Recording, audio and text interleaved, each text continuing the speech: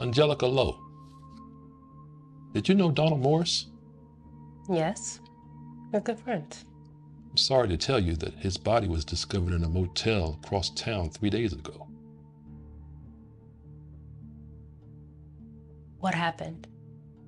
He was shot at point blank range in the chest.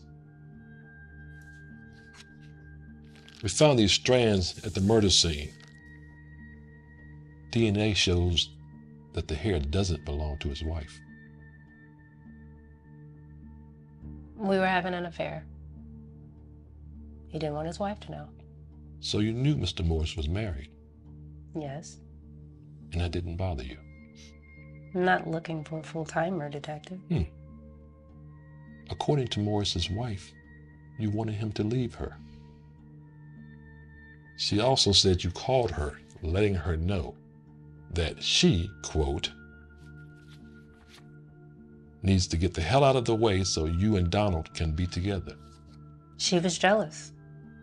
That's why Donald wanted to leave. Looks like she had good cause to be.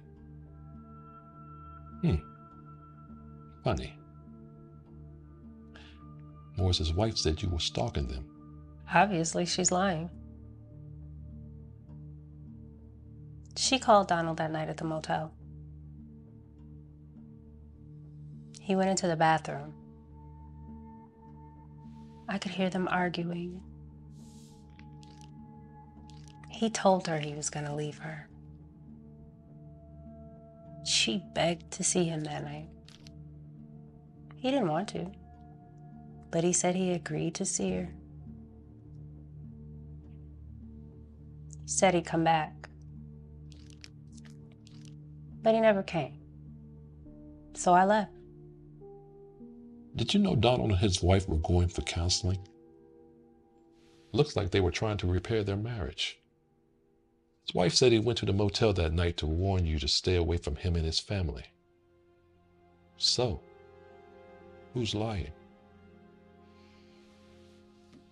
That's what he wanted her to think.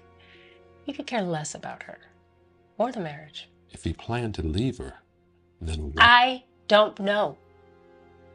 Uh huh. He was also found in the same motel room you left that night. Maybe his wife followed him back to the room. You're gonna have to ask her. She had more motive than I did to kill that.